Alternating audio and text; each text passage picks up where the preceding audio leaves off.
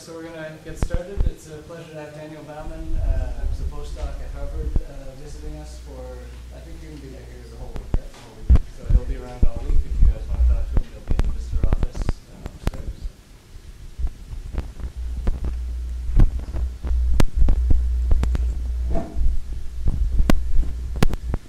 Yeah, I have to say I have a talent for tripping over this thing, so I'll, I'll do my best. Okay. Um, okay, so thanks a lot for the invitation. Um, I arrived yesterday, and as, as Neil was saying, I'm here the, the whole week. So I look forward to talking to people. If either there are questions on this or you know, talking about your work. So I appreciate that don't work on these kind of things on a daily basis. So I was trying, what I'm trying to do is um, first of all, put it into a broader context, you know, that I hope um, explains why, why, why I think this is relevant, you know, from, from an astrophysical or observational perspective. And then also the, the actual work that we did, I'm trying to basically give a cartoon version of the actual computation that we did. Um, of course, I want to emphasize that those cartoons don't, they're just basically simple analogies that try to um, you know, stand for the actual calculations. Um, so of course, you know, this is not the place where you have to talk, spend much time talking about the golden age of cosmology. You know, most of the maps here of the CMB were, were actually created here. Um, uh, Mike is here. You know, of course, people here spend a lot of time in, in making these incredible maps of fluctuations in the cosmic microwave background. And so when one analyzes the power spectrum of those fluctuations, that's what the data is telling you. And amazingly, we now have this six parameter model, including contributions from dark energy, dark matter, um, and, and, and, and a spectrum of, of small fluctuations, an input spectrum of small fluctuations that fits the data remarkably well. So I just like to show that because for me as a theorist, you know, it's, it's amazing that you can actually, that these things actually work out when you, when you look at actual data.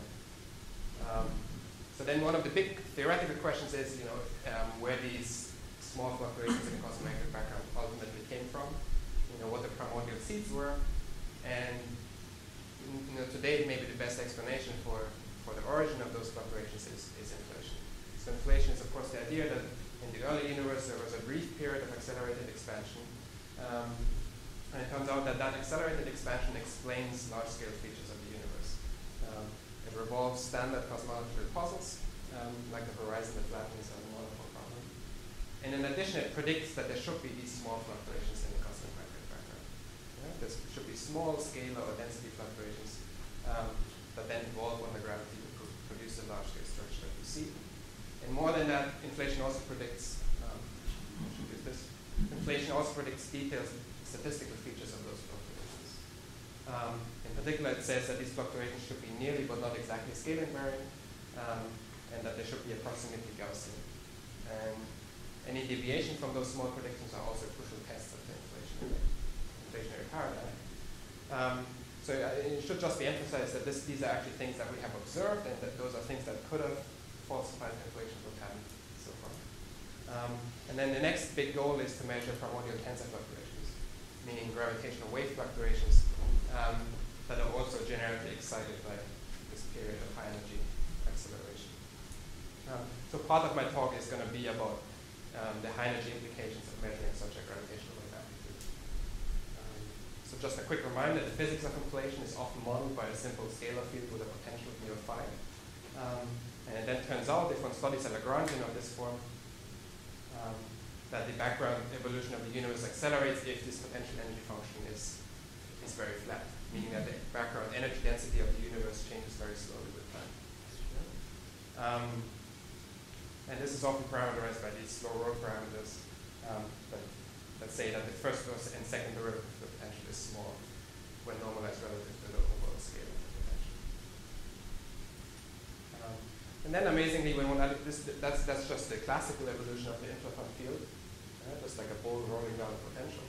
Amazingly, if one studies quantum fluctuations around this homogeneous evolution, one finds that these quantum fluctuations produce, um, when evolved under gravity, produce the large-scale structure that we see. Um, and so there are small fluctuations in the field that lead to a small local time delay of the end of inflation, and that local time delay gets imprinted into fluctuations in the energy density. Um, and another characteristic scale will be the, the distance that the, the field evolves from the time when these fluctuations produce scales that are observable in the CMB at the time when inflation ends. Um, so that's a scale, delta phi, that describes the field variation of the inflaton field um, from early times to the end. That's going to be another important quantity um, in the rest of my talk. Okay, so inflation has been you know, incredibly successful phenomenologically in describing the primordial universe, but, but basic fundamental questions remain. So I just listed three important questions here. You know, one is the question, what is the scalar field phi? So at the moment I just described it as a kind of order parameter that describes the time evolution of the energy density. But more fundamentally, one can ask, you know, is this field a fundamental scalar field or some more emergent degree of freedom, uh, some composite field? Um, and then um, a second order question would be to ask what's the precise shape of this inflaton potential. At the moment, we just have, you know, we have different phenomenological proposals for what the shape could be, and each of these different shapes leads to slightly different predictions in the actual shape of cosmological perturbations. Um, so from a top-down point of view, we would like to have some kind of theoretical input into um, expected shapes for these potential energy functions. Um, and you know, a big part of my talk is going to be what string theory can tell us about these potential energy functions. Um, and then finally, there's a question about initial conditions, why this field starts off in this high energy state in the first place, and why doesn't the universe start in this, in this low energy um, ground state. So these are basic theoretical questions that remain unanswered, and I think we have to provide some kind of um, theoretical understanding of these kind of questions if you want to you know, consider, um, if you want to claim understanding of the universe. Um, okay, so the outline of my talk is going to be, I'm going to roughly try and have, keep my talk in two parts. The first talk, I'm going to um, make a couple of statements about inflation that I think are generic um, and hopefully uncontroversial. And those, so I'm going to try and emphasize aspects about inflation that depend on high-scale physics. Yeah? So typically one imagines that inflation is actually a mechanism that is almost designed to hide, hide the ultra-high energies from our view. For example, it removes monopoles so we don't see you know, high energy relics from very high energy physics. Um, but there is three particular aspects of inflation that nonetheless are sensitive to you know, details, sometimes subtle details about our, the our, our theories at the highest energy scales. And I'm going to describe generically what I think are um, three examples for such a sensitivity to UV scale physics. Um, so one example is you know, protecting the flatness of the inflaton potential, really ensuring that these potential function, potential energy functions can arise at flat potentials.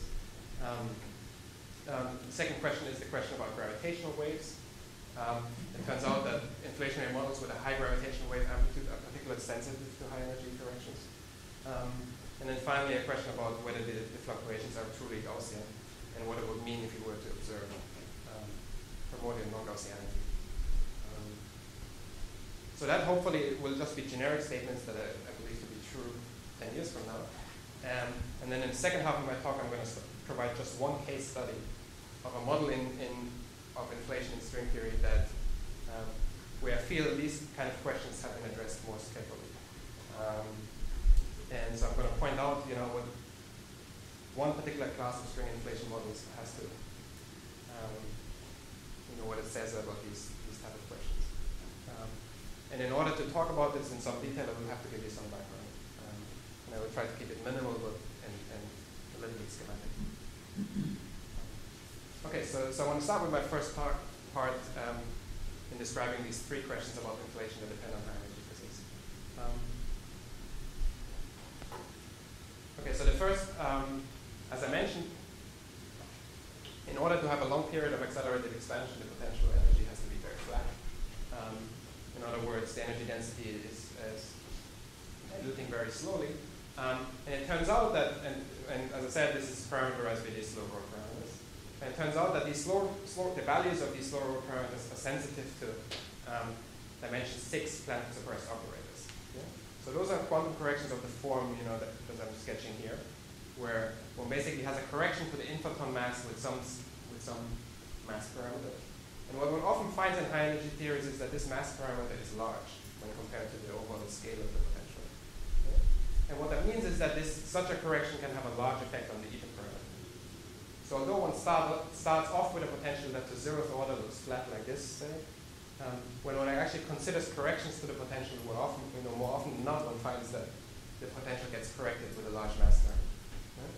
So that goes by the name of the eta problem because the eta problem that's the eta parameter that starts off being small gets corrected by an order, order one number.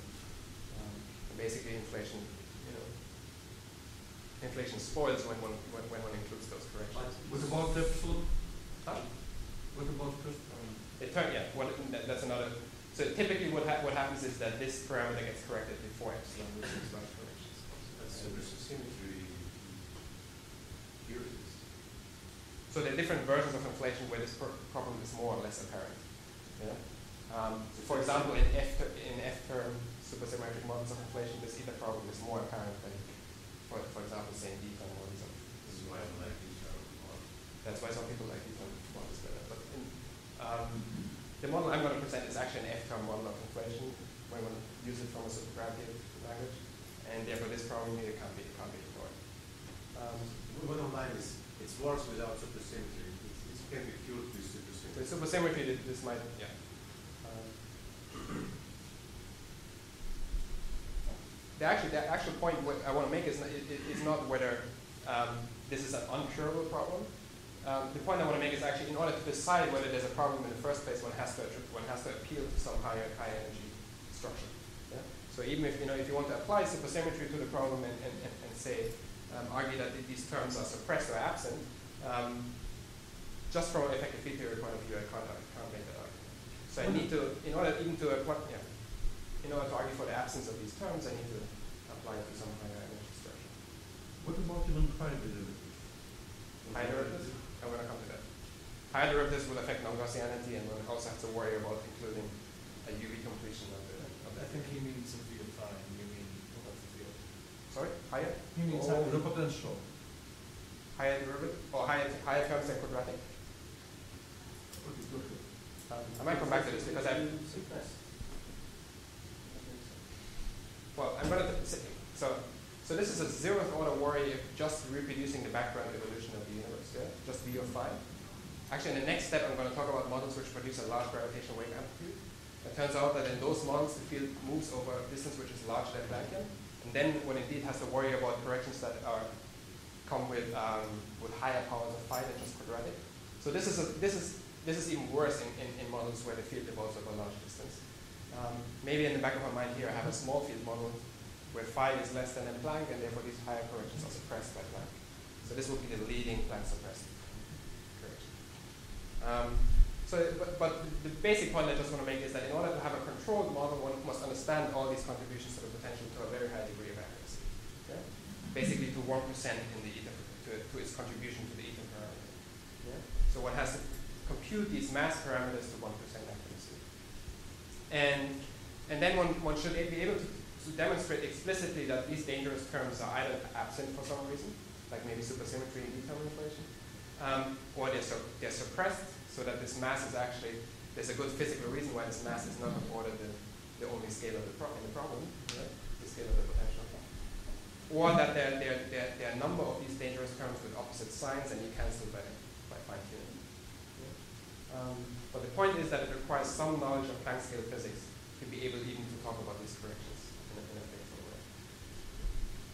So that's a basic point that's going to be important for the rest of the class because I'm going to actually show a model um, of inflation in string theory I think we can compute all of these effects and therefore really answer the question whether um, um, you know, this problem is generically present or not, or whether it can be solved by fine tuning. Okay. So the sec- second second feature of inflationary models that are, UV sensitive is, is in some sense optional because it doesn't apply to all models. Yeah? But it turns out that models that produce a large gravitational wave amplitude um, are particularly UV sensitive.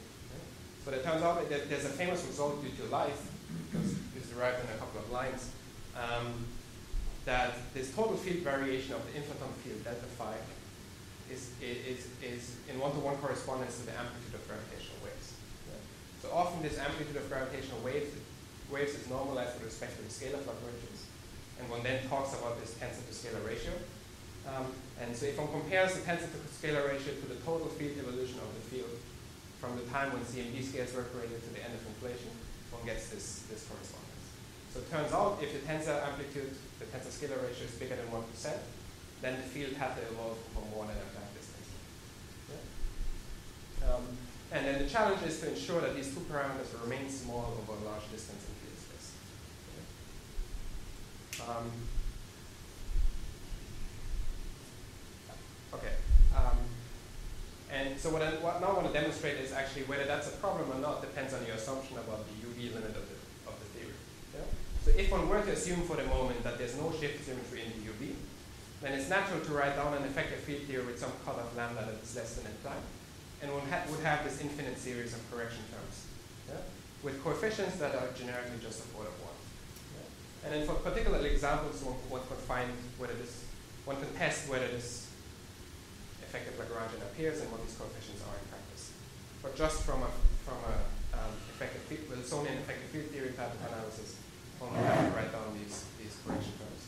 Q term, so Ah, yeah, here I'm imposing a, a symmetry under phi to minus phi.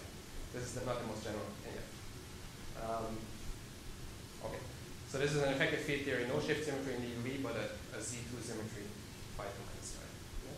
From what, but this is, this is, yeah, it's not important for the argument at all. Um, but the, the, the point is that these, these corrections here are suppressed by, by this cutoff scale lambda, this cutoff scale lambda one can show always has to be less than implied. Um, and these coefficients here are generically of order 1, so what it means is that um, in order to get inflation over a distance that is larger than a Planck, one needs to somehow arrange that these, these coefficients cancel against each other. So that means there's a functional fine-tuning of all correction terms to make these corrections irrelevant. Um, and so, so compare this to the first problem I was talking about, the, the, the eta problem, which only required fine-tuning of one mass parameter. Whereas here one has to fine-tune an infinite number of terms against, against each other. Um, but of course, there's a, there's a simple solution to this problem if the UV theory indeed has a shift symmetry. So if this Lagrangian is, is required to be invariant on the phi to minus phi, and this, this shift symmetry is only weakly broken by the inflaton potential itself, by like a mass term, for example, um, then it's technically natural to actually write down such a Lagrangian with a small mass. Um, so, that, so, so under this assumption, which I'm not saying, which I'm not saying that it's a strong or weak assumption, on another assumption, um, this Lagrangian is technically natural. Um, but the interesting point is if we measure gravity waves, it will actually tell us, you know, a qualitative, qualitative. We'll make a qualitative statements about one this this assumption about symmetry in the UV. Yeah? That's the that's the basic point. Okay. So then the final point is that um, is the question of whether the inflationary fluctuations are Gaussian. And non-Gaussianity, quite generally, is just a measure of interactions of the inflaton field. Um, so in particular, in the simplest models of inflation, single fields slow roll, yeah, one starts with a Lagrangian like this. So one has a canonical kinetic term and a potential. And then in order to get inflation in the first place, the, the, the potential has to be flat. Which means that self-interactions of the inflaton field are necessarily small, just in order to ensure that inflationary dynamics occurs in first place. Um, and then what, th what that means is that this FNL parameter, which parameterizes the amount, the amount of nonlinearity, um, is suppressed by, by slow roll parameters. So that's now a famous result that this FNL parameter is much less than 1. Um, and current observational bounds on FNL are order, um, order you know, tens or hundreds. And order 1 is probably also the best one can hope to measure with, with future CMB and large scale structure observations. Um, so in single field slow roll uh, models, there, there's this robust result that interactions have to be small in order to allow inflation, therefore non-Gaussianity is small. Um, but then, of course, you know, nothing forbids you from, from studying more general single field inflation models, where one postulates that inflation is covered by a Lagrangian with some, uh, that is some arbitrary function of some of, of a kinetic term. And one can then show that non-Gaussianity can indeed be large if these high derivative interactions are important during inflation.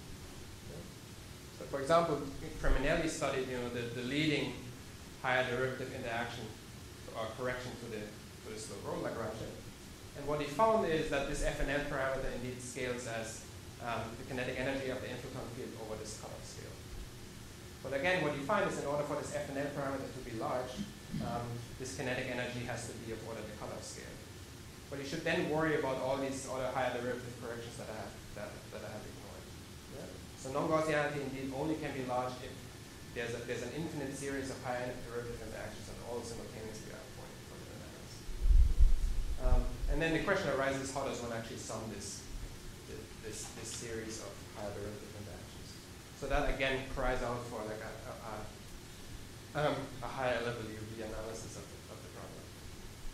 And for example, one example of such a UV analysis is what's called DBI inflation, yeah? um, where inflation in fact is governed not by a simple, simple slow roll Lagrangian, but by a more, more complicated kinetic term. Um, so, so notice that this kinetic term is pretty, um, is very analogous to the Lagrangian for a relativistic point particle. And that's effectively what it is. It, it's the relativistic Lagrangian for a three-dimensional brane. Yeah? But that's not important here now. If you just accept this as an effective Lagrangian, then it, it teaches you that inflation can actually occur for steep potentials. And interactions are important but controlled because this, this, this, this Lagrangian is known to hold at arbitrary of, high energies. Um, and it turns out that the same interactions that allow inflation for steep potentials also allow it to have a large number Gaussianity. And typically very large Gaussianity, even saturating current bonds. Um, so the three, points, three points I wanted to make is that the eta problem, gravitational waves, and primordial non-Gaussianity are UV-sensitive aspects of inflation. Um, and each of these problems actually teaches us that we require some UV completion to have theoretical control.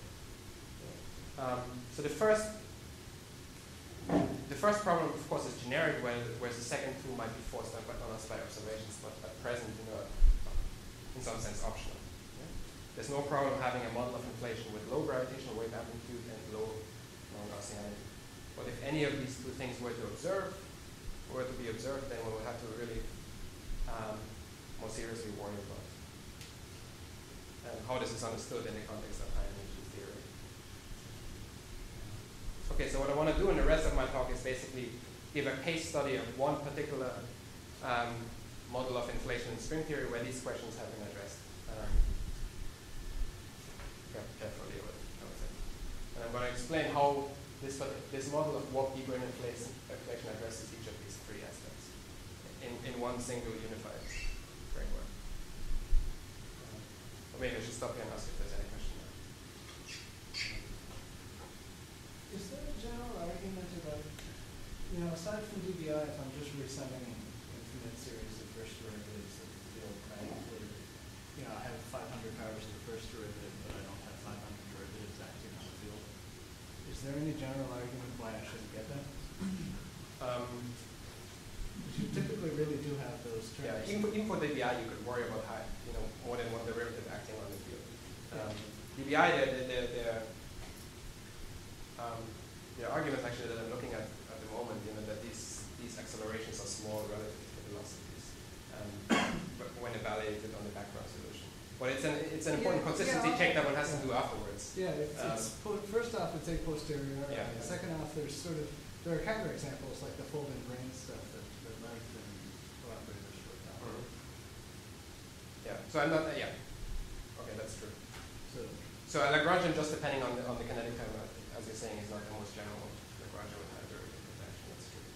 so there's no there's no no go theorem. I don't know. how that is. So, and, uh, uh, do you consider supergravity models like Victor inflation as UV complete, or Um, only they come from the string theory uh, that we could be UV complete? So what I'm as- saying is that we can solve many problems which you done before with the supergravity construction, that ten years ago without string theory. By postulating some Kähler form of the Kähler, Kähler potential. Yeah. Um, This should be satisfactory. It would still be nice to see that these scalar potentials arise from string theory, say, because it is true what can arbitrarily introduce shift symmetries into the Kähler potential, um, and then these shift symmetries will propagate down into shift, symmetries in the, in the scalar potential. But, but what happens in reality, is string theory is so uncertain and there's so many corners of landscape, you can, uh, in the supergravity limit, get a lot of things. So, Yeah. in this respect, it's a but I haven't, for example, I haven't seen the supergravity Lagrangian that, that you're referring to from string theory. The three, D seven, yeah. Mm, okay. We have strong opinions. I, I, yeah. um, we can talk about D three, D seven, I mean later. Um, it's a little bit challenging. Um, okay. So maybe I should mention for everybody else, supergravity is a low energy limit of string theory.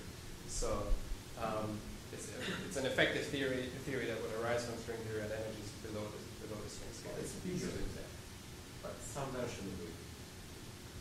All these low energy limits of string theory are supergravity models, but there are more supergravity constructions. Um, Okay, so what I half is talk in some detail about particular case, particular model of inflation in string theory, not, but not necessarily the only one. Um, and the, the way I've selected that one is, of course, because it's the one I've, I've worked on more caref- most carefully. Um, but it's also the one where, yeah, you can correct me if you don't agree, but it's, it's the one where I think we could make these, these calculations in, in the most detail. And um, and it would be interesting to, to, to develop the machinery to do these calculations for other types of. So I'm not advocating this as a particularly beautiful construction by any means. Um, so the outline for the second half is I want to make some generic, some general statements about string inflation that are true for most of these models, most if not all. I want to then actually give you the geometrical setup that is relevant for these warp brane inflation models. And then in passing, I will mention how this, how the geometry affects these three UV sensitive observables for inflation. Um, and then I'm going to talk about a recent paper that came out a few weeks ago um, about how we found a systematic way of computing all important corrections to what we think are all important corrections to this potential energy function for that model. Um, and I'm going to make some comments about what those corrections imply for the phen- phenomenology of, of brane inflation. Um, and again, I've tried to give enough background to make be able you know, to follow the, the, the, the setup, but if I'm leaving anything out, then please stop me and just ask me. Um, so I already mentioned, you know, these, U- I think these UV, these three UV sensitive aspects of inflation are strong motivation for actually studying inflation in the context of string theory. An even simpler motivation is that, you know, of course, in the standard model of particle physics, we don't know of a scalar field that can be the inflaton field. Um, whereas in string theory, these scalar fields appear very naturally. Uh, and in fact, you know, there's even the problem that too many scalar fields appear, and one usually has to appeal to, um, to, to more complicated physics in order to hide those scalar fields from our view. And I'm going to describe that also. Um, and also, string theory provides considerable UV control. So you get complete Lagrangian that tells you about um, what happens to these high derivative interactions at, um, at, at, you know, at a scale close to the cutoff. Um, and it also tells you in more detail what happens to corrections to the inflationary potential, or which corrections should be, should be present and included. Um, so then the hope is to use string theory to clarify some of these UV issues of inflation, and in reverse to use cosmological observations maybe to constrain um, string theory models of inflation. But as you know, as Lev was pointing out, that's that's challenging because they're like, you know, there might be many of them or not. Okay, so the first concept that we will need is the concept of moduli fields. Um, so moduli fields arise when, you know, as you as you as you surely heard, string theory is defined in ten dimensions, ten or eleven. You need to compactify six of them. Um, and it turns out when you compactify space dimensions, um, from a four-dimensional point of view, these appear as scalar fields. Yeah? So the simplest example is, is just the overall volume of the extra dimensions. Yeah? If the overall volume of the extra dimensions were to change in time, it would be dynamical, we would actually see, we would see that. Yeah? We would see that as an additional force, we would see that as a change in Newton's constant, a change in coupling constants. Um, so, so, typic- so typically, um, yeah, and so that's, that, that's one example of a scalar field. Other examples are roughly the, the you know, an anal- analogous uh, are, the, are the shape of extra dimensions. Yeah? Um, so roughly the shape and size of extra dimensions appear as four-dimensional scalar fields. And those scalar fields can be both a blessing and a curse. Um, so they might be a blessing if, um, because as I mentioned, of course, we need scalar fields both for inflation and maybe for dark energy. Um, so if these scalar fields have the right kind of physical characteristics to give you flat potential functions, um, then that might be a natural way to, to link inflation to, to some high energy, more energy structure. Um, but they can be a curse because if they don't serve a useful purpose, then they use, usually they are dangerous. Yeah? Um, and um, so that's, that's why moduli fields typically sp- split into two, two types. Yeah? The first type is you know, scalar fields that are useful for cosmological purposes and scalar fields that are not useful. And the ones that are not useful, you would like to hide from our view, and you do that by the process of, moduli stabilization. Yeah? So you fix the size of the extra dimensions. Um, okay, a couple of um, couple of other basic, basic structures that I have to give. String theory naturally has D-branes, so those are higher dimensional membranes over which strings can end. They also have fluxes, yeah? Those are generalizations of electric and magnetic fields, higher dimensional versions of electric and magnetic fields. Yeah? So just like a, a, charged point particle you know, creates electric and magnetic fields, those higher dimensional branes create electric and magnetic fluxes. Um, and then these fluxes can back react on the geometry and produce a warping of the extra dimensions. so the x dimensions can be can be curved rather than flat. But you see that these these three important elements are all linked to each other. So they're not added to the theory, you know, in an arbitrary way, but they're they you know like D-branes arise for detailed mathematical and physical consistency reasons, and then these flux, these D-branes source fluxes, and the fluxes source the warping of the x dimensions. Yeah? So the idea would then be to use these features to first of all stabilize all moduli except maybe a few, and then study whether those few remaining moduli fields can play um, the role of the scalar field phi. And then one would ultimately like to compute this function v of phi from a microscopic point of view. Um, okay, so there are different versions, different types of physics that allow you to stabilize the extra dimensions, so stabilize these moduli.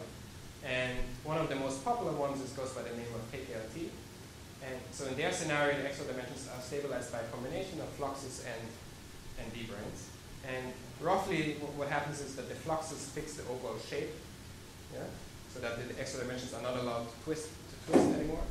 And the fluxes also lead to a strong, as I mentioned, to a strong warping of the space-time. And then additional wrapped branes fix the overall size of the extra dimensions. Yeah? So that you end up with a compactification manifold which is completely rigid. Yeah? If you know if you add these physical effects. And the rough cartoon version of this is, is something like this, where this is a six-dimensional compact space. You know, their branes wrapping lower dimensional cycles of that compact space, and their fluxes that thread, um, thread, thread these cycles. And then energy densities associated with each objects that allow you to write out potentials for this modular Technically, it's just solution of the 10-dimensional Einstein equations with all the sources. Yeah. And showing this stables. Yeah, exactly. So yeah, yeah. So this is the cartoon version. What Lev was saying is a more mathematical description, but it's it's really a you know it's a physical kind of calculation. Um, it's a solution of Einstein equations with sources.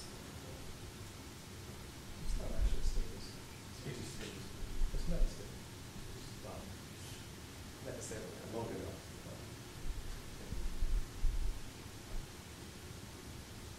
um, I mean, there will be stable solutions with negative Classical, classical stable. That are stable under the citizen. Uh, yeah, yeah. Um, but once you try to lift it to, to a positive cosmological constant, it's never stable. Um, okay. Um, so that challenge has recently be, been, been overcome that you actually stabilize most of these moduli fields. And by recent, I mean something like five years ago. Um, the people, of course, were studying the early universe in the context of string theory before that, but before that, they really always had to make the strong assumption that somehow these extra dimensions don't evolve dynamically, and they're fixed by, by assumption in some sense. Yeah? And now, actually, that assumption has been removed, and there's actually a phys physically well motivated um, mechanism that allows you to show that this actually happens in, in detail. Um, so that was a major development, and from then on, you know, you can actually now, in more detail, study what happens with any modular field that isn't stabilized, isn't fixed, so that modular field is allowed to evolve dynamically. And roughly, you have two qualitative possibilities. There's the possibility that the extra dimensions themselves somehow still slowly change, change in time. Yeah? That in fact, they haven't fixed completely the size, but you allow it to change very slowly. Um, or there's the possibility that you have some extra energy density that moves through the extra dimensions. and both of these effects from a four-dimensional point of view would look like a changing energy density. And the quite detailed, detailed computational question is just whether any of these kind of effects can, can lead to an energy density that, changes slow enough. Um, so, um, so these are just you know a few of the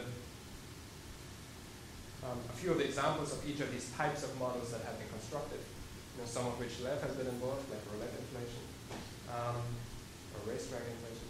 And the one I want to focus on is this this example of warp brane anti-brane inflation. Um, so I'm going to give a little bit of background about D-brane inflation. Um, so the basic geometrical idea is that you have a brane and an anti-brane. Yeah? They're both three-dimensional objects. Um, so they fill four-dimensional space-time. So their world volume extends along all four dimensions, but they're separated by an extra dimension. Yeah? So this coordinate here, this coordinate here is our three plus one dimensional world. Um, so we will be, we will be, these branes would coincide with our world, but then they're separated by an extra dimension. So from the extra dimensional point of view, they simply look like point particles. Yeah? Um, so, and, and what I'm in fact going to do in every every cartoon that follows is I'm going to suppress the 3 plus 1 dimensions. So all pictures that I'm going to show are simply going to be pictures in from the point of view of the extra dimensions. And then these three branes will look like point particles. Um, and the idea is that the, the role of the inflaton field is placed by, played by the separation between those two points. And in order to ask, to, in order to answer the question whether the system can be inflating or not, one has to uh, compute what the force between those two objects is, and whether that force can be weak enough or not. Daniel, is an intelligent answer why they should be parallel Why they should be parallel? except to, yeah. Um, there's a little bit, yeah, there's a, there, there is an answer. Um, well, I can give you the answer that Henry Tye likes to give. You might have heard before, if not. Yeah? Um, so I think the answer that he gives is that even if those, those things are, say, say imagining that these are, these are wiggled and intersecting maybe, um, if they're wiggled and intersecting, then it's very, then they're gradient contributions to the, to the effective potential. And these gradient contributions will typically you know, prevent inflation from occurring. But there will be small, you know, there will be small patches where by chance those things are parallel, and those patches will inflate and go. So this is the this is this is the the blown up version of that small region. So it's the same answer. It's an initial conditions problem though. So it's basically the same answer. What happens with the patch of the scalar field when your simulation is working, it's, became more and more. Yeah, you can study when you add gradient energy uh, to uh, make a slightly inhomogeneous um, universe, and then there's also constraint about how much gradients you're allowed to add. Um, okay. Um, okay, and so that's the video of how inflation would occur. Oh. Okay, so this goes back to, I think, 96 due, to Dvali and Tyler. Um, and what they studied is they basically studied this system in, in a flat background spacetime. The dimensions were flat, they were uncurved, yeah, so they didn't have the curvature that naturally arises from these fluxes. Um, but it was simply a brane and anti-brane sitting, say, on a torus. And then they ask, you know, what's the force between those two objects? And of course, naturally, the further you separate them, the weaker the force. So what you might imagine is that least, as you separate them by a large distance, um, at some distance, you know, the force is weak enough so that inflation can occur. But what they found is that this, this separation, in fact, has to be bigger than the overall size of the. Yeah? So in fact, you have to separate these objects by more, more space than you have available. Um, so in other words, what they found is they found a serious eta problem for this, for this model in flat space. So in flat space, you can prove easily that this thing doesn't, does never inflate. Um, but then um, what happened next is that um, these authors, KKLMMP, the same authors as, as in KKLT, with Maldacena and McAllister added. Um, what they studied is they studied the natural scenario when these two branes are embedded not into a flat space but into a curved space. And it turns out that this cur curvature has the effect that it suppresses the force between the two. Yeah? So that to, um, to zeroth order, when one simply computes the, the, the, charge interaction basically between those two point particles, um, that charge interaction will produce a potential that is exponentially flat, even at small distances. Yeah? Um, simply by this warping down, warping effect. So warping just suppresses the force. Um, yeah. um, okay, so this is what I mentioned already, the warping suppressed. So the advantage, is, the advantage of studying the system in such a warped throat Yeah, so that's also called a warped throat compactification. Um, so the advantage of looking at the system in, in, a, in a warped region is that it suppresses the force between the branes. And a second important advantage is that in fact there are explicit solutions. Yeah? Explicit metrics are actually known for these warped regions. Yeah? Which is unlike most extra-dimensional spaces in string theory where one actually doesn't know the metric. One only knows some you know, more, more basic topological statements like you know, number of holes, number of um, but one doesn't have detailed metric information. Whereas in these, in these throat regions, one actually knows explicit metric, at least lo- yeah, explicit metric, at least locally. And the metric actually allows you to, to then compute gravitational um, interactions and things like that. Yeah? So that's an important feature that makes these, you know, useful lampposts in some sense to study, to study dynamics. Um, and so, so I should also explain what I mean by this picture a little bit more. So this, this picture is meant to be a six-dimensional space, yeah, um, in like a in like a rough two-dimensional representation. Um, so here, this direction is meant to be a radial direction, and then at every radial point, there's a five-dimensional base. Yeah? So this part here is has has the geometry of a cone. Yeah? So at every radial position, you can imagine just a five-dimensional base base manifold. And in the simplest example, you might imagine just a five-dimensional sphere. Um, in more reali realistic examples, you know, that base manifold has a more complicated structure. Yeah? Um, okay, but the basic geometry is that of a cone, and then that cone is attached to a, some very complicated extra extra manifold. Yeah? Um, okay, but we are always going to study physics in that local, locally um, simple, simple geometry in some sense. So here again, here I'm just showing this this cone structure. Um, so this cone has a minimal radius and a maximal radius. Yeah? And so the first thing one can actually do, wasn't the first thing that was done, but one thing that one can do is one can actually compute how far the inflaton field can move just in that geometrical region. And so when one normalizes these things properly, one actually finds that there's a strict upper bound in the total variation of the inflaton field yeah? in canonical units relative to the Planck mass. And and in fact, it turns out that the field can never travel over a super-Planckian distance.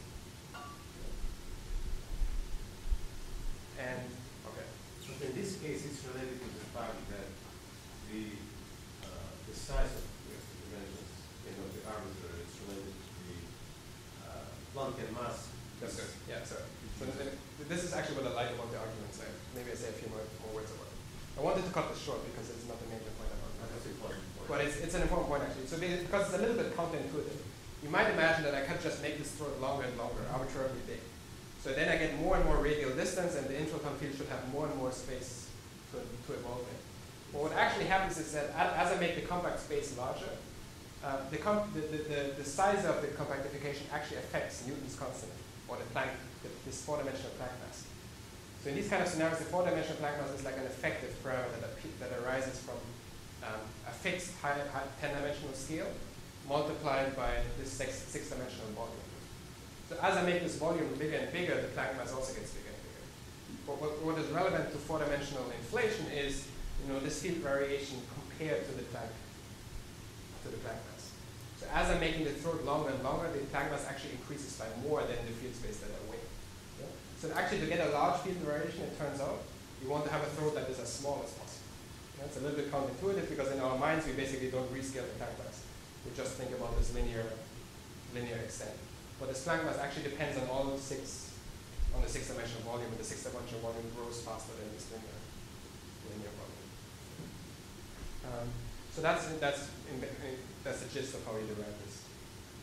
Derive this bulk. But then I showed you earlier that Lyth has this famous result that if this field variation is less than Planck, that means that the gravitational waves are always small. So here, by, from purely geometric arguments, one shows that gravitational waves can never be can never be large. Um, and so notice that I didn't have to say anything about fine tuning. I didn't have to say, you know, like that. Usually, what the, the argument that gravitational waves, whether gravitational waves are large or small, depends on you know the first derivative of the potential. One has to argue that it's very fine tuned or not to have a have a have a first derivative which is extremely tiny here we're basically just saying that for purely geometric reasons this can never, this can never happen.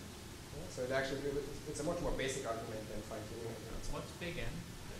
Yeah, sorry. So big N is, is a is an integer number that relates to the amount of flux that you need to produce such a throat region. It's related to R map. Yeah. Let me just say that it's, it's an integer number that always has to be bigger than one for any of this to make sense. First of all, because it's an integer, so you can't start counting. It's the amount of flux that integer quantized flux that sources these throat regions. Um, so the smallest it can be is one. But one would be, it's a dubious case because then the throat is so small that it's actually smaller than the string size. And when the throat is smaller than the string size, then the geometry is not, in some sense, not classical anymore. So I couldn't be even drawing this picture. So I want this throat to be big enough such that corrections to the geometry are not important. Um, and in order for that to be the case, the throat has to be big enough, and how big the throat is is governed by the amount of flux that you use to create the throat. And that amount of flux is governed by this is this integer n. Um, okay, good point.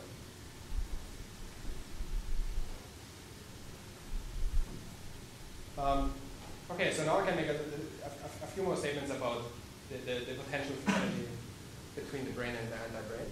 Um, so I mentioned that because of the warping, this, the, the force between the brane and the anti-brane is exponentially flat.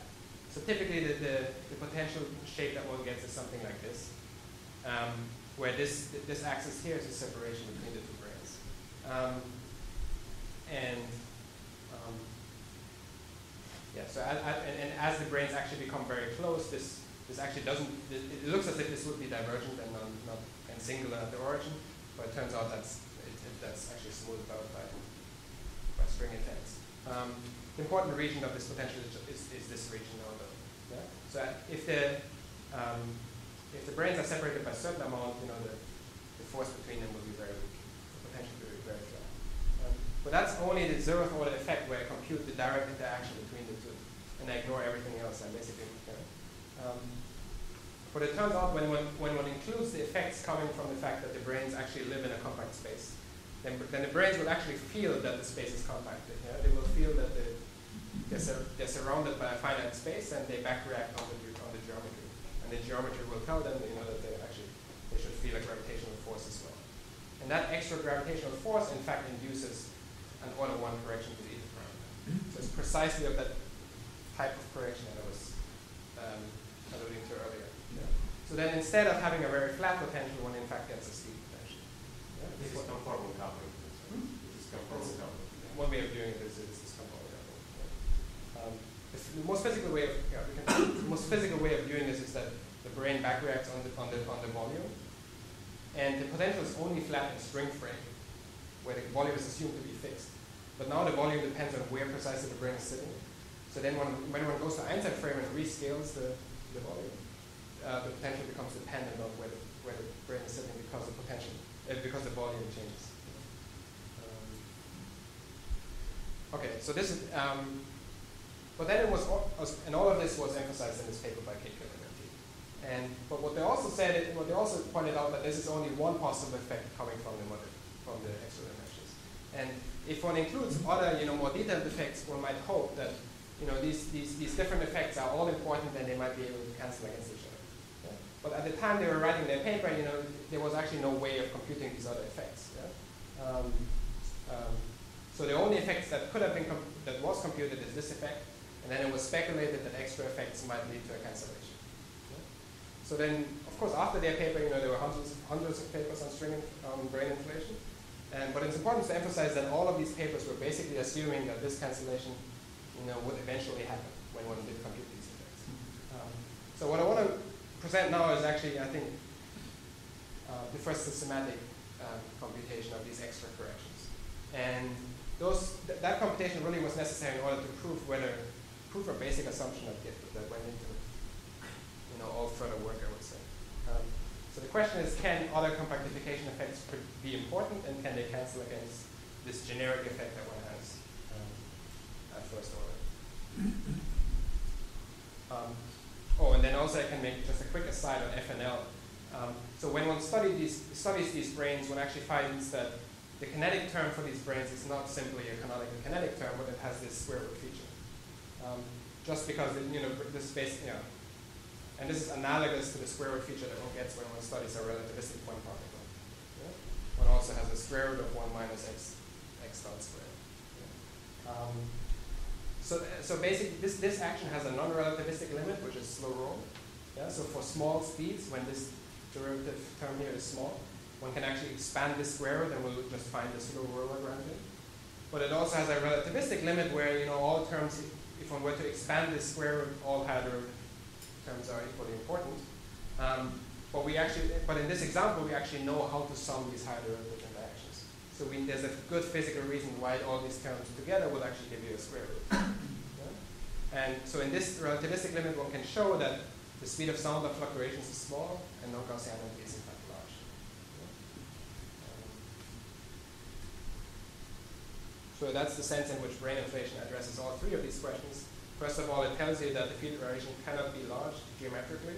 Um, it tells you that interaction terms can be, high derivative interactions can be controlled because you know this, the UV limit of the kinetic term is known.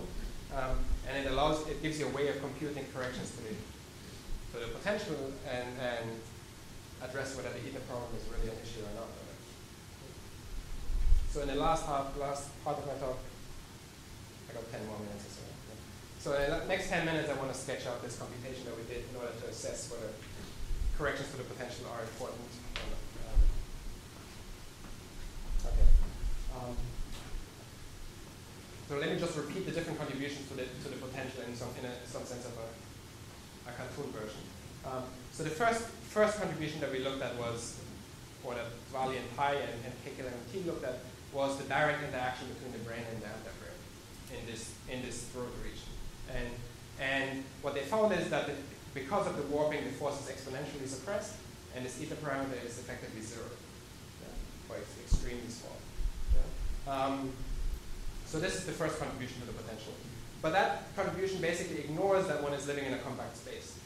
This, strictly speaking, this throat solution is, is taken to be an infinite throat, cut off arbitrarily at some large radius. Yeah. Um, but if one imagines that one adds a, a finite region to this throat, then as I mentioned, there's a back reaction between the, the energy density in the brane and the overall volume of the compact space. Gravitationally, just the volume has to respond when the brane is moving. And as the volume is responding, it, it, it exerts a gravitational force on the brane in some sense. In a sense, four-dimensional gravity pairs. Hmm? Without doing the the out, there is no four-dimensional gravity. Yeah, the back will be infinite. Yeah, so, If you, if you to dimensional, four-dimensional gravity emerges. yeah. And that emergence effectively introduces this extra mass term. Uh, but it, it, it introduces this mass term with a fixed comput- uh, computable uh, coefficient, with a fixed mass. And in fact, one can show that numerically this mass is, just, is, is, is always large, and the eta, par- eta parameter is, is, is a fixed number, two-thirds. Yeah? So that's a, that's a generic term that appears just from the fact that, that one is living in a, in a, in a finite space. Yeah? Um, and that contribution here is unremoved. It's not even tunable. It's just a fixed fixed number. Yeah? It's just a fixed mass. Um, so then the next thing that people were speculating about, and we now looked at in detail, is what actually happens when you effectively really glue this into into a throat into a when you glue this throat into a bud region. So what the gluing will do is, is that it will actually perturb the geometry at this large radius n. Yeah? So there will be the, the, there will be small perturbations to the geometry that will then um, be transmitted into the inside region of the, of the. Isometric rate. Yeah, Those will also lead to isometric gradient. Um, okay. Um, so what we looked at is basically at these UV perturbations to the throat geometry, and not just the geometry, also to the flux fields that are inside the throat, and see how all perturbations of all these fields that are relevant to the throat regions can be communicated to the, to the brane. And the idea is that those, those perturbations will lead to extra, might lead to extra forces on the brane. And the question is whether that extra force can lead to a correction to the. But first of all, is negative. Yeah? So one thing one could find is that this correction is always positive and then you, you would never be able to, to do a cancellation. Yeah? So people have then always assumed implicitly that this correction is negative, but it was never shown. Yeah? Um, and also, we, uh, also one, one can test whether this correction is of the right order to cancel out this term. Yeah? Another failure mode could have been if this correction is somehow suppressed, yeah? so that it's never of order one, so then you, one would still be left with a large, large eta parameter. Um, so what we set out to do is basically compute this in a, um, in a systematic way that is applicable to, you know, the, to a very large class of, of these kind of geometries. So this delta V here, just to be clear about it, you know, includes all corrections to the potential that come from the fact that it's, co- it's connected to a finite, to, to a compact space, and this connection introduces perturbations at the, at the large radius n. Um,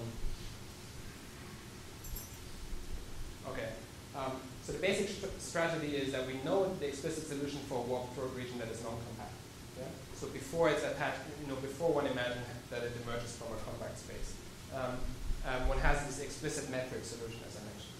Yeah? Um, but then, so what we then study now is, is perturbations to that metric and perturbations to the flux field that arise from the fact that it's attached to a, to a compact space. Yeah? So what I will first do is I will describe this in, in, uh, on the, in, as a gravity calculation. Yeah? Um, and then talk a little bit about the ph- ph- phenomenology of the emergent potentials. But then I will also show that there's, that there's a, and probably very briefly, I will, I will discuss that there's this connection between the gravity solution and a dual gauge theory solution. So there's a famous result due to Maldacena called ADS-CFT duality, um, which showed that in fact, um, for certain type of geometries, gravity calculations can be completely equivalent to, gauge theory calculations without gravity. Um, if, it, if this didn't make sense to you now, I can uh, I will give you a picture. Picture in a moment. Okay. But first, this this this computation will be purely gravitational. Um, so. Um, so as I mentioned, string theory has a metric and it has fluxes. Um, and in fact, it has many of them. So one might worry that you know there are many perturbations to consider, and then all these perturbations could, in a complicated way, interact with the brane. Um, but luckily, it turns out that the D3 brane only couples to a very specific combination of perturbations. Um, so not any odd perturbation actually has an effect on the D3 brane. There are lots of perturbations that simply have no effect. So the, the perturbations could be whatever they would would like to be. The, the D3 brain will just not feel it. And so in particular, if I write down the metric, so this is now a 10-dimensional metric. Um, so for this warped throat region, the metric will take this form. So there's a six-dimensional throat, there's our four-dimensional space-time, and there's a warp factor linking the two. Yeah? And these y coordinates are basically like the radial coordinates of this throat. Yeah? So they're coordinates of the x dimensions. And this warp factor here just depends on the coordinate of the x dimension. Yeah? Um, and then there's a five-dimensional flux that depends on also uh, on, a, on a scalar function of that extra dimensional parameter. So it just turns out um, that the, the potential for the D3 brane is simply the difference of those two scalar functions, the warp factor and this flux function. So the details here are really not important. The only point is there could have been, in principle, there are you know, 10 different types of fields and perturbations of each of these fields. But it turns out the D3 brane only couples to one particular scalar combination of these perturbations.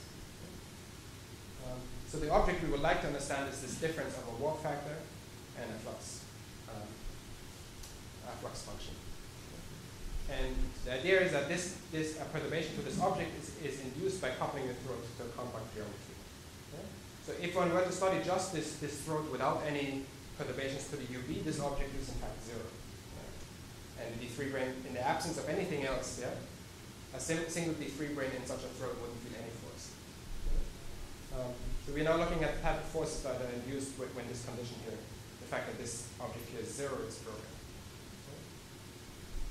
So the way to compute this is one looks at the, the gravitational, the Einstein equation basically that these fluxes, these perturbations here um, satisfy. And it's actually just the Einstein equation reduced to a simple Laplacian. Okay? And this is now a Laplacian in six-dimensional space. Okay? So it's a 6D Laplacian equation that one would, would like to solve. Okay? Um, and so it's just a little bit more complicated than doing you know, a problem in, in Jackson for electrodynamics where one solves you know, three-dimensional Laplacians for some complicated boundary conditions. And here the problem is very similar. It's just that when one has a complicated five-dimensional space with one radial, um, one radial dimension, and um, one would like to solve for the scalar harmonic functions on this 5D base manifold. And luckily, even we didn't have to do it ourselves because an Italian group had, had done that uh, in 99 already. So these scalar functions on the base manifold are in fact known. So one can then actually write the solution for this phi minus function as just a harmonic expansion on the on the base manifold, yeah? where one has um, some radial dependence with some scaling um, scaling factor, and then here just a YLM um, harmonic on the five-dimensional In a sense, you're calculating KK spectrum. Yeah, so this is the exact, exact. Yeah. Um, eh, or not we, Ceresole et al. Have computed the KK spectrum on this five-dimensional base manifold. And so these L and M coefficients here, uh, or indices, are in fact L, L stands for three indices and M for two. Um, but, but they're very analogous to in, in, in 2D, in, on a two-dimensional spheres, one has these YLM's with L and M angular, quant, uh, angular quantum numbers. And here just we have like higher dimensional generalizations of those, those quantum numbers. Um, and then this, importantly, the scaling function here is determined by these, by the quantum numbers of these, of these harmonics. Yeah? So each, each spherical harmonic is associated with some particular scaling of the radial function. Yeah? But it's just determined by the eigenvalues of the Laplacian of the 5D, The 5D Laplacian. Yeah? So that's, it's, it's just a higher dimensional version of something very similar. Um, and then the group theory selection rules for which of these which combinations of quantum numbers are actually allowed. And so really our ultimate goal is to figure out what's the leading the leading term. And the leading term will be the one with the smallest value of this, this eigenvalue. Because if one imagines normalizing this thing in the UV, um, then the higher this value is, the quicker this radial function will die off and, or before it reaches the brane. So we would like to identify the smallest possible eigenvalue consistent with selection rules of these, these quantum numbers. Yeah? And one finds is the two lowest eigenvalues are these two. Yeah? So there's a delta of three halves and then there's a delta of two, and corresponding to those particular combinations of, of quantum numbers. Yeah? And so if delta is three halves, then this potential here scales as r to the three halves. Um, if delta is two, the potential just scales as a. Yeah? But importantly, this, this, this, this computation reduced to like a group theory exercise with, um, with a solution of Laplacian equations. Um, so these two cases then lead to two distinct, two distinct shapes for the potential. The first shape is where the leading correction is just this three halves. Um, and the second is when it, it's, it turns out it's also easy to actually forbid this three halves correction. Yeah? So if in fact some of the isometries are unbroken, that, that, that Lev was mentioning, some of those were unbroken, then it could be that you know there's this three halves perturbations is actually forbidden by symmetry. Um, and if it's forbidden by symmetry, then the next leading correction will just be this, this quadratic correction. So there are two cases depending on whether symmetries forbid this three halves or not. If there's no symmetries forbidding the three halves, the leading correction is this. If there's a symmetry, just a single discrete symmetry forbidding the three halves, then the next leading correction will be a quadratic. Okay? Um, so the full potential in the case where there's a three half correction will look something like this, or can be tuned to something like this. And in fact, it has this inflection point feature. So inflation will be able to occur just around this small region where the, um, the potential in fact changes curvature. And because it changes curvature, it has zero, zero eta here. Are you just ignoring the, the What is? Coulomb piece? The Coulomb? yeah, the Coulomb piece is here approximated as a constant. Because as I said, it was very, uh, as we saw, it was very flat here. I could have included it as, as a 1 minus 1 over 5 to the 4th. Okay. Um, but that's not a big effect. right? Um, so yeah, this, this first piece is the Coulomb piece. The second piece is this universal term that one always gets. This third piece is the piece, the leading correction coming from the fact that one glues it into it. Uh, what happened with the quadratic correction in this uh, uh, extra? So why is that? He's mean- meaning the formal topic.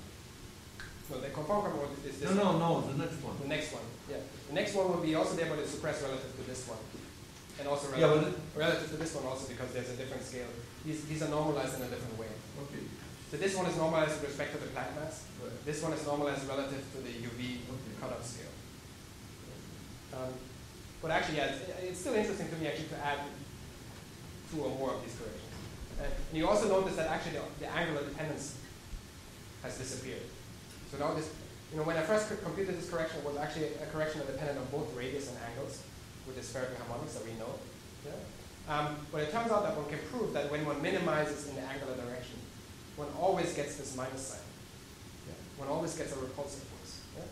Which is actually lucky because one could have found the opposite. If one had found the opposite, that this was always a plus sign, um, then, then this would always be, you know, would just be making steeper. Yeah? So it was important that we found a minus sign here after we minimized in the angular directions.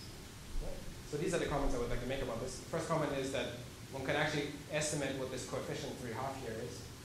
Yeah? And one can show that it's it's tunable over a wide range, but we haven't computed these coefficients in, in much detail. And the sign of the correction comes from minimizing the angles. And, the, and for people who know, the, the shape of this potential is very similar to the shape of a, a different explicit model that we introduced a year ago. Um, okay. And the second case is where one only have the quadratic term, the three halves term is forbidden by symmetry. And then in fact now what one has is one can cancel two pure mass terms against each other. Um, and that's in fact the kind of model that we, people were imagining at the very beginning after KKLMMT, that one would simply have two mass terms that could be cancel against each other. And then recently we studied this explicit model where such a cancellation is actually impossible. But now in, in, in, this generalization of our, of our older work, one finds that um, one can actually in, indeed have such a cancellation between those things. Yeah, so, so what I was saying that in general you should have that and plus and minus 3 power. Right? Sorry? Yeah. What's this minus term is the, the uh, 5 all this expression. Plus the plus the Plus. plus this quadratic. Yeah. What I'm saying is this quadratic is, is suppressed with respect to all of them uh-huh. because it, because it, the No, I under- I understand that, but nevertheless you do consider cases of zero. Yeah, so no one can actually, so people have considered previously cases with beta is zero or beta is small. Yeah? And I think this is now actually a justification how such a, how such a beta can in fact arise. Previously we have never seen a computation where such a correction actually, actually appears. And now we find such a correction can appear if the leading correction is forbidden, forbidden by a global symmetry. Yeah. But the leading symmetry, the leading correction we always found previously was a three halves. And here we found a systematic way of explaining this three halves. And if you repeat the parameters one, one it just reduces to BDI. Um, so I'm a little bit over time, so I don't want to say too much about we- maybe, maybe the experts can, can talk about this a little bit longer. Um, If I get five minutes, I, I finish this. Can I have five minutes? Okay. Um, okay, because this, this is actually something, otherwise I wouldn't have explained the title of my talk. Yeah? Because the, the, the reason my talk is called holographic systematics is because of this holographic correspondence. Yeah? So there's, it turns out Maldacena proved in, in the late 90s uh, like a beautiful connection between field theory and gravity. Um, and what he proved is uh, um, that there's a holographic correspondence between a theory of gravity in five dimensions. Yeah? Where the five-dimensional space is, a, um, it, it is called space. Yeah? So it's a space with negative cosmological constant. Yeah? Most symmetric space with negative cosmological constant. And it turns out anti-de Sitter space has a, has a, has a boundary. Yeah? Um, and then, so what he then did is he studied gauge theories on that boundary. And you can show that any question you can ask on the boundary, you know, as, as a gauge theory question without any gravity whatsoever, uh, can be can be related one to one to a question that can be um, to physics inside the um, inside the space. Yeah? So there's this hol- holographic correspondence between gauge theories on the boundary of ADS space um, and quantum gravity or string theory inside the inside the space. Um, and the reason this is relevant for us is because actually these throat solutions turn out to be very close very close relatives to these ADS spaces that um, that Maldacena was studying. And in fact, there, also exist for these throats yeah, explicit correspondences to, to, to gauge theories. Yeah? And any, yeah. So, to good approximation, this is, in fact an ADS space, and any deviation from an ADS space has actually been understood in terms of a deviation from the actual gauge theory that Maldacena was studying. Yeah? Um, so the advantage of that correspondence is that sometimes calculations are hard on this on, the, on this side of the correspondence as a gravity calculation. For example, when black you know, very near to a black hole hori- you know, singularity. Um, or sometimes a field theory calculation is hard because you know you, have, you want to compute something at strong coupling. Um, and it turns out that whenever one calculation is hard, the other one is easy. Um, so a strong coupling calculation in the field theory corresponds to a weakly curved space um, on, on the gravity side. So one can actually, one of the powerful ways of using the correspondence is to translate questions from one theory to another theory. Uh, um, whenever one is hard, the other one is easy. So that's why, so what I presented so far was, was, was just the gravity side of the calculation. And I showed you how these corrections to the potential relate to eigenvalues of Laplacians, where this coordinate phi is the radius of a throat, this, this cutoff scale phi uv is the maximum radius of the throat.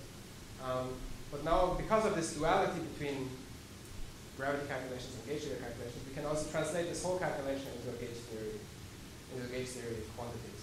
Yeah? So, for example, one can relate this correction to the potential, this phi minus in particular, um, to, to very specific corrections to the, the gauge theory Lagrangians, the gauge theory operators. Um, now this delta dimension will actually correspond to the operator dimension. This phi will be the energy scale of the, the, the gauge theory, this UV will be the color scale. Um, so we can redo the calculation on this side basically and compare if the answer if the answer holds. Yeah? Um, okay, so I just refer you know, in the paper we give details on this actually. Um, actually works out quite nicely. And, and that's just credit to Maldacena, of course. It's, it's just one of many hundreds of examples now where the correspondence actually works. So we would have been very surprised and if this hadn't worked and we you know, blamed ourselves to begin with. But, luckily, this actually worked out in, in detail. Um, okay, so I want to stop here just reminding you that I pointed out three questions in inflation that are sensitive to UV physics. And I like to use these three questions to motivate studying inflation in the context of string theory. Um, because, in, I mean, to my mind at least, string theory provides the most promising framework to address these questions. Um, and in the case of gravitational waves and non-Gaussianity, um, it might even be the fact that, that very soon these, these things might be forced on us by observations. So if you were to see gravity waves or non-Gaussianity, you would really have to you know, ask, ask kinetic theorists how to explain this from a microscopic point of view.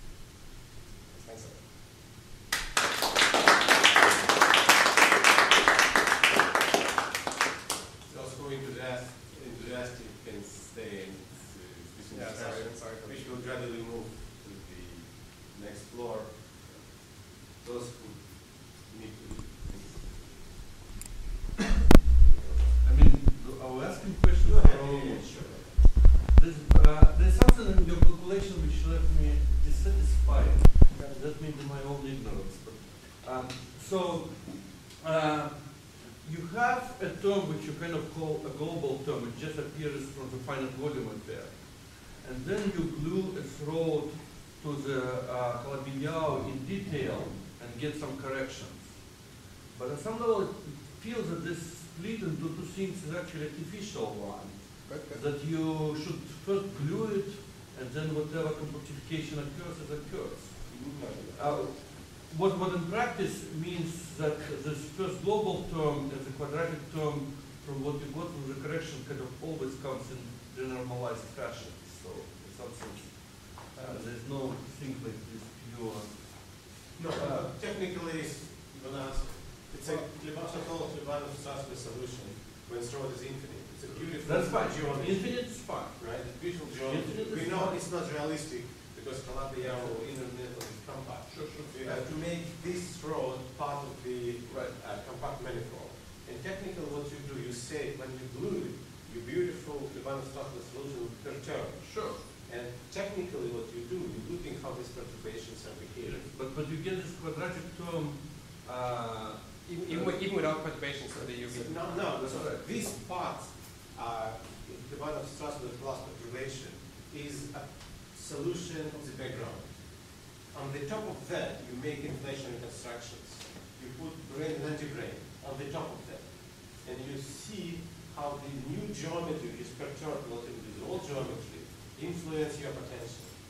But you first need to do mathematical exercise to find uh, perturbed geometry, which was done by Aharony et al. Uh, two years ago. Not done in this paper, before, yeah. but you used this result and also divide them for the variables. well, actually, it's, it's, it's different. Aharony actually looks at something different. Because they, hmm? well, they look at perturbations that don't break supersymmetry because they're interested in, in how these perturbations affect the anti-D3 brane activity. So they look at perturbations, what I call phi minus. There's an equivalent perturbation with just a, the minus change to a plus, so there's a phi plus perturbation.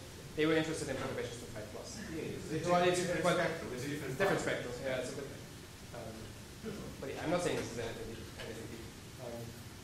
but actually, I mean, this, this, this universal mass it, it, it is a little bit more mysterious than, than these other corrections. So I mean, I'm happy to talk about that one also because um, we do have a dual gauge theory interpretation actually for this universal mass. Mm -hmm. And it actually comes from a, um, from a perturbation that where um, the dimension is not protected.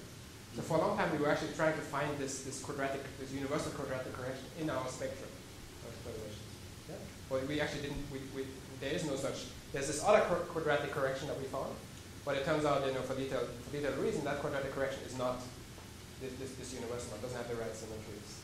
Um, and um, so, but of course, you know, when one, when one looks at the gate, on, on the gauge theory, there are different classes of operators, some of which have protected dimensions and some of which don't have protected dimensions. It turns out these leading corrections that we were looking at co- all come from chiral operators which have protected dimensions. Yeah? So we can actually read off the dimension at a class- classical level and treat them and, and, and trust them at, at, any order. Turns out this universal mass direction is not of that sort. It doesn't have a mass dimension which you can just read off. But one can one can argue that it's present, but it's, it's, it has a renormalized dimension. Okay, we're done with